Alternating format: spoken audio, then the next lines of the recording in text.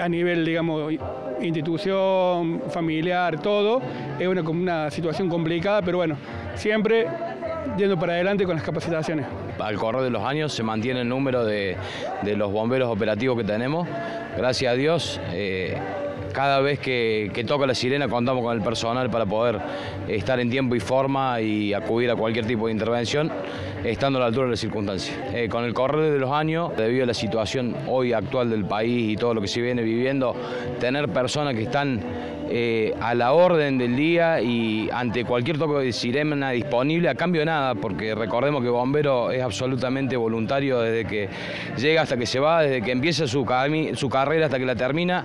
Eh, bomberos no cobra absolutamente nada. Entonces tener personas con ese tipo de calidad humana no hay en este mundo. Déjame decirte que es muy difícil encontrarlo y acá es justamente lo que, lo que fomentamos año tras año. Lo vivimos a flor de piel, porque es algo que nosotros, saca la cuenta, yo hace 22 años que soy bombero y cada 2 de junio eh, es algo que me hace sentir orgulloso de lo que hago.